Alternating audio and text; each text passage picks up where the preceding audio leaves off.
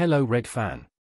Last summer, the Englishman saw his time with Manchester United come to an end and he opted to join Steve Cooper's newly promoted team, rejecting a possible move to West Ham United. It's believed that his contract was worth £115,000 per week plus incentives. However, he only signed a one-year deal and so that will expire this summer. Sadly for the player and his club, the move hasn't really worked out at this stage with Lingard struggling to really show his best in a Forest shirt on a consistent basis. But first, if you're new to the channel, take advantage and subscribe so you don't miss the Forest news that we're always bringing you firsthand. Enjoy and leave your like on this video so that YouTube continues to deliver you the latest news from Nottingham Forest.